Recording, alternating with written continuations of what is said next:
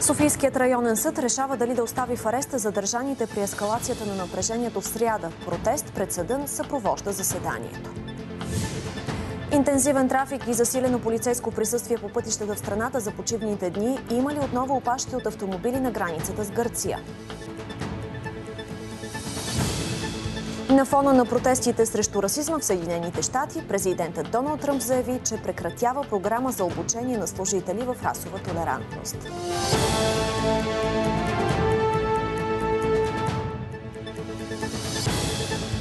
Добър ден с новини по света и у нас в събота 5 септември. За седем от задържаните по време на протеста на 2 септември беше поискан постоянен арест. Софийският районен съд гледа делата в момента. Пред сградата на съда в същото време има протест. Там е Иво Никодимов, когато включваме на живо. Добър ден, Иво. За кои от задържаните поискан арест? Добър ден, Юлия. По-известните задържани, за които е поискан арест, Пламен Стоянов, известен още като Дамбовец, Росен Миленов от Възраждане и бившия футболист на ЦСК Александър Бранеков. За един от другите е задържани, преди малко мярката приключи, съдът е постановил той да бъде освободен незабавно от ареста, без никаква мярка за неотклонение. Всичките са с повдигнати обвинения за хулиганство. Част от задържаните са привърженици на партията на Костадин Костадинов Възраждане, за която помните, на 20 юли тази година прокуратурата поиска заличаване, тъй като е открила данни за нарушения по време на учредяването на партията.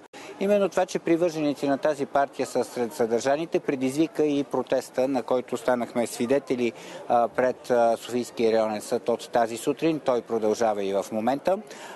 Част от задържаните, но по-обвинени и по-късно освободени, също бяха на този протест, заедно с лидера си Костадин Костадинов. Чуйте какво казаха те пред нашата камера. Беше казано, че има 30 души с криминални регистрации, които са били членове на Възраждане. Истината е, че има 7 души задържани, от които нито един няма криминална регистрация. Петима вече са освободени, двама сега ще им гледат тук а, мерките, като от тези, които са освободени, всички са тук в момента, за да подкрепят своите приятели и съратници. Всъщност ние се озовахме отзад зад полицията. Един от полицаите хвана колегата и го издърпа за яката и каза, искате да минете ли, минавайте. И ги ти ни всъщност се дърпа отзад и там вече ни закопчаха. Да ви припомня, че на 2 септември Костадин Костадинов беше задържан. Причината обаче не е това, че е извършил законно нарушение по време на протеста, защото се оказа, че на 2 септември той е бил призован от следовател в Следствения отдел на Варненската окръжна прокуратура да се яви на разпит, но не го е направил, следствие на което следователят е издал постановление за принудителното му довеждане. Така че след като е конвоиран до Варна, разпитан, Костадинов е освободен и, както видяхте днес, също беше тук пред Софийския районен съд. Какво ще се случи с мерките, оставаме да проследим. Да, ще следим. Благодаря ти за тази информация, Ево Никодимов, за мерките на задържани гражданите по време на протестите на 2 септември. А в 59-я ден на антиправителствени демонстрации столицата осъмна без блокади на ключовите кръстовища. През кръстовищата на Орлов мост, ректората и булевар Цар Освободител преминават автомобили, автобуси и тролеи. С нощият протест премина спокойно. На протестиращите и полицаите бяха раздавани плюшени играчки в знак на съпричастност към собственика на верига за детски стоки, който преди дни критикува полицията и стана обект на проверки. Шествие до Орлов мост нямаше, но той беше блокиран за кратко от младежи с велосипеди. С нощи в триъгълника на властта беше възстановен палатковия лагер, беше блокиран и булевард Цар Освободител. Протестиращите казаха, че лагерът е за постоянно и ще останат и през нощта. Към 3 часа обаче той е премахнат. Дойдоха така солидно количество жандармерия, обградиха палатковия лагер и ги принудиха да се съберат доброволно нещата и го разтуриха. Хората прецениха, че е по-добре да не оказват натиск. Първо, защото числено бяха жандармерията в повече. Второ, за да могат да си съхранят все пак вещите, защото за пореден път не искаха да им бъдат изпотрошени.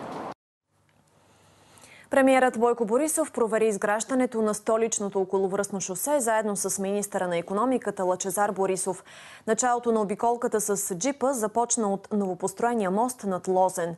Очаква се движението между Горубляне и Младост да бъде пуснато до 10 септември. Оставам на хората да преценяват. В момента и економическите и финансови мерки работят, подготвяме един план за следващите няколко месеца, защото влизайки в кризата и в пандемията, държавата трябва да е подготвена. Който и да управлява. Тя трябва да бъде подготвена. Предстоят най-тежките година и половина, даже бих казал. Но за радост медицинските ни и здравните ни служби се справят за сега и пак продължаваме най-добре да управляваме в Европа пандемията. Без да усещат хората никакво психическо натоварване. Всичко работи. Няма един сектор да не работи в момента. За разлика от цяла Европа. И показателите ни пак са от най-добрите. Действайте смело, защото всичко това е за хората. Това, което правиме е за хората и те го усещат.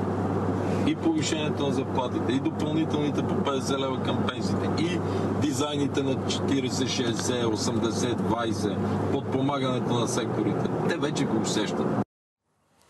Министър-председателя проведе среща и с президента на КТ Подкрепа Димитър Манолов и с представители на синдикатите на Мини Марица Изток.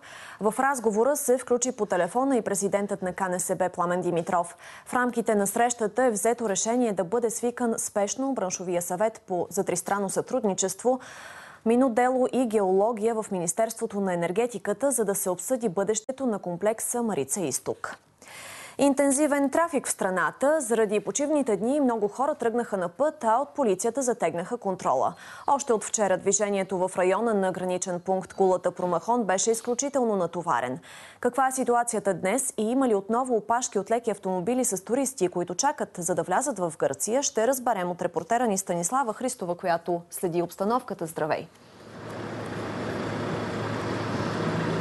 Добър ден! Днес, за разлика от вчера, движението тук е нормално, спокойно се осъществява преминаването през граничния пункт, като опашка от автомобили има само в района между граничен пункт Кулата и граничен пункт Промахон, където се извършва проверката на документите, както на пътуващите в автомобилите, така и на самите автомобили.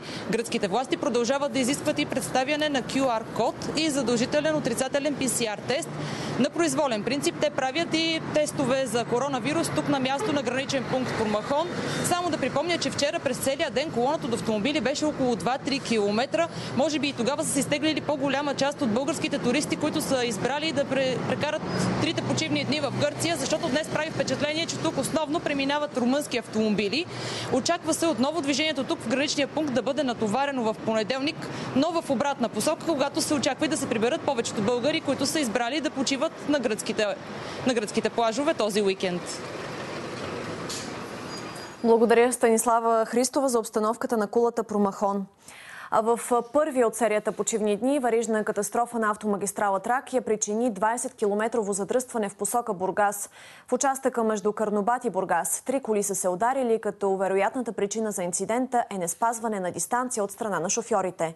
По информация на полицията пострадали няма, причинени са само материални щети. Трите автомобила са изтеглени в аварийната лента, но въпреки това трафика остава натоварен. Катастрофа между три автомобила бави движението по автомагистрала Тракия и в района на 36-я километр преди Ихтиман. В посока Пловдив се е образувало задръстване от около 2 км. Колоната от автомобили се движи бавно. А част от магистрала Тракия ще бъде ремонтирана около два месеца след тежката катастрофа, при която загинаха петима души, а шестима пострадаха. Първоначално е бил предвиден ремонт на пътя от 168 до 208 км. Заради лошото състояние обаче този участък ще бъде удължен с още 12 км. Ремонтът ще започне в средата на септември и се очаква да продължи до края на годината. 12 юли 2020 година. Малко след 17 часа тир с турска регистрация в посока Бургас навлиза в насрещното на 163 км на автомагистрала Тракия. Удря пет автомобила, обръща се и се запалва. При тежката катастрофа няколко души губят живота си, има и пострадали. Ето е дупката. Минавам 79. Чухте ли как издрънча камиона? Дни по-късно на мястото беше положен нов асфалт върху дилатационната фуга, само в активната лента. Бързата и аварийната бяха оставени в същото състояние. Тогава от АПИ признаха, че закърпването е временно решение за лятото. Основният ремонт от 156 до 208 км трябва да започне до няколко дни. Един по-основен ремонт с усилване на, на, пътна, на пътното тяло, подмяна на всичките асфалтови пластове, усилване на пътната конструкция чрез добавяне на мрежи, подобряване на отводняването, изграждане на нови ограничителни системи за пътища, нова, ново знаково стопанство и нова пътна маркировка. В момента ограничението на скоростта в участъка, който ще бъде ремонтиран е 90 км в час. Намаление от 40 км или 50 км в един участък от от 40 км би довело до едно забавяне в преминаването с не повече от 11 минути. Ако ги съпостави с статистиката, която имаме от колегите от пътна полиция, може да се направи много хубав извод, че тези 11 минути са спасили много човешки животи. По-лек ремонт ще има и на участък от 156 до 168 км. Ще бъде подменен асфалтът и подобрено отводняването. Ремонтът на цели участък ще струва около 89 милиона лева. И към картината на разпространение на коронавирус у нас, която днес показва, че още 179 души са заразени с COVID-19.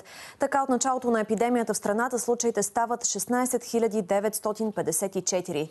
За лечение в болница са настанени 763 пациенти, а 111 вече влизат в графата преборили болестта. Жертвите на щама за изминалото денонощие са 7. По света социалното недоволство срещу мерките за разпространение на коронавируса се засилва. Денят започна с мащабен протест срещу рестрикциите в Мелбърн, Австралия. Арестувани са десетки. Броят на заразените на зеления континент се увеличава. Тенденцията се наблюдава и в Европа. Само за денонощие във Франция бяха регистрирани повече от 9000 нови случая. За днес протести срещу карантинните мерки са планирани в италианската столица Рим, а в Испания на улицата излизат учителите. Те настояват за по-защитена училищна среда. В глобален мащаб болните от COVID-19 са повече от 26 милиона и 600 хиляди. Най-много са те в Съединените щати – над 6 милиона и 200 хиляди. Жертвите на опасния щам в света са близо 875 хиляди. Пореден скандал, свързан с изказване на президента Доналд Тръмп. Според редица медии, той е използвал обидни думи за военнослужащи по време на своя посещение в Париж през 2018. Въпросът беше повдигнат от няколко обединения на ветерани и военни. Администрацията на Тръмп категорично отрича подобни твърдения. Междувременно стана ясно, че по нареждане на държавния глава ще бъде прекратена програма за обучение на служители в расова толерантност. В документа се посочва, че подобни подобни тренинги само засилват недоволството сред работещите. По-рано Тръмп обяви, че не смята системния расизъм за проблем в Съединените щати. Прекратяването на програмата идва на фона на протести срещу расизма и полицейското насилие, станали особено интензивни през последните месеци. По случая на Вални, Тръмп каза, че Вашингтон трябва внимателно да проучи фактите. Няма доказателства за отравянето на блогъра, но Съединените щати няма причина да се съмняват в заключенията на германските медици. Мисля, че трябва много внимателно да проверим, ако това наистина се е случило. И мисля, че ще направим. Никой не е бил по-твърд с Русия, отколкото аз. Не знам какво точно се е случило. Тъжно е, трагично и ужасно. Не биваше да се случва. Нямаме все още никакви доказателства, но ще проверя. Най-малко 8 души са арестувани, а няколко полицаи са ранени по време на антирасистски протест в Рочестър, Нью Йорк. Недоволството е провокирано от ареста и последвалата смърт на афроамериканеца Даниел Понт през март. Поредна нощ на бурни демонстрации и в Портланд, Орегон. Протестите там се активираха след 100 дни от смъртта на Джордж Флойд, който почина по време на арест през май. Следват още новини от света. За 57-ми път жители на руския град Хабаровск излязоха на протест. Причина за недоволството е арестът на бившия губернатор на региона Сергей Форгал. Той беше задържан в началото на юли във връзка с разследване на криминална група, организирала убийството на двама бизнесмени през 2004-2005 година. Форгал отрича обвиненията. Сега демонстрантите настояват и за разследване на предполагаемото отравяне на опозиционера Алексей Навални. Възможно е Северна Корея да подготвя изстрелване на балистична ракета със среден обсек на действие от подводница. Информацията е на Американския център за стратегически и международни изследвания. Анализират се спътникови снимки на пристанища в източната част на страната. На тях се вижда плавателен съд, от който би могла да бъде изстреляна ракета. Конкретни доказателства за подобен ход обаче няма. Иран вече има 10 пъти повече обогатен уран от разрешеното в международната спогодба за ядрената програма на страната. Количеството му надвишава 2 тона. Данните са на Международната агенция за атомна енергия. Техеран настоява, че обогатеният уран се използва само за мирни цели. Миналата година Иран започна по етап на оттегляне от международната ядрена сделка, подписана през 2015 от Китай, Франция, Германия, Русия, Великобритания и Съединените щати. Техеран обяви намеренията си след като президентът Тръмп каза, каза, че Вашингтон се оттегля от спогодбата. У нас по-малко спасители работят по българските плажове от началото на септември. Концесионерите вече започват да ги освобождават, въпреки прогнозата за хубаво време. Проверка на наша ки показа пълни плажове по Южното Черноморие и с една трета по-малко спасители. Репортаж на Елиана Цанова. Заради хубавото време, много туристи са избрали да почиват сега и плажовете по Южното Черноморие са пълни. Дори септемврийското време може да предостави добра възможност за слънчева баня и плаж. Миналата година до 6 ноември беше последната баня. Колко позволи времето, ще ходи. Плажът в Бургас е пълен слетовници, особено през почивните дни. И въпреки, че вече част от спасителите са освободени от работа, концесионерът се опитва да осигури достатъчно хора. Три поста се махат от 23 на северен плаж Бургас. Оставаме а, 14 човека. Намаляването на спасителите често натоварва оставащите с повече отговорности. За по-безопасно плажуване, спасителите съветват да не се посещават неохраняеми плажове, както и да се следват указанията за безопасност. Като слязат долу да навидат първо какъв е флага, ако е червен, значи е опасно. Спасителите, ако не свирят с свирката, им каже да излязат по-близко до брега. Този медицински пункт на плажа в Бургас също остава отворен. Концесионери от своя страна обмислят да оставят обходни двойки спасители до края на месец октомври, когато завършва и активният летен сезон. Броят на спасителите на охраняемите плажове се определя по определена от Министерството на туризма схема. И към Созопол, където финалните дни на празниците на изкуствата Аполония са с изключително силна музикална, филмова и литературна програма. Днес предстои среща с Георги Господинов. Романът на Георги Господинов «Времеобежище» излезе през април. Заради мерките срещу COVID-19 представяне на книгата пред публика не се състоя. Сега всъщност е премерата и премерата на на Аполония, което за мен е винаги много интересно. Всъщност се оказа, че физика на тъгата преди 10 години отново нейната премиера беше тук. Изобщо за важните ми книги Созопол е, Созопол е мястото. И от няколко часа съм тук и всички тези случайни срещи по улицата с хора са най-хубавото нещо, което може да се случи в Созопол по това време на есента. В неделя на Полония предстоят прожекции на филмите на Теодор Ушев «Сляпата вайша» и «Физика на тъгата» по произведения на Георги Господинов, които продължават да печелят награди на фестивали по света. Най-хубавото, което продължава да се случва на физика на тъгата и сляпата вайша е, че ги четат хора, които нямат понятие от нашия опит, но явно улучват някакви самите филми, надявам се и книгите улучват някакви важни за, за света усещания днес тревога и впрочем, както и във времеобежище, тази идея за минало и бъдеще и за отказаното настояще и за дефицита на бъдеще, който те кара да живееш в миналото, се оказа много, много в тон с времето. Премиерата на Времеобежище е днес от 19 часа в двора на художествената галерия в Созопол. В навечерието на 135-та годишнина от Съединението на княжество България и Източна Румелия, Националната библиотека подготви документална изложба от най-важните архиви и фотографии от Берлинския конгрес до Сръбско-българската война. Експозицията ще е отворена за посетители до 23 септември. Манифестът на княз Александър I Батенберг, с който той обявява съединението и който завършва «Нека Бог ни бъде на помощ, това нужно и велико предприятие» е най-значимият документ, представен в изложбата. В 8 витрини могат да се видят 50 документа и фотографии, които хронологично представят героичните събития. Тук са фотографиите на първите главни управители на Източна Ромелия Алеко Богориди и Гаврил Кръстевич, както и програмата и устава на Българския таен централен революционен комитет, начало с Захари Стоянов. Любопитен факт от съединението са думите на Захари Стоянов в едно негово писмо до Димитър Петков. Той казва, че този преврат, който е извършен, е станал без да се пролее нито една капка кръв и без да се каже нито една неприлична дума между победители и победени.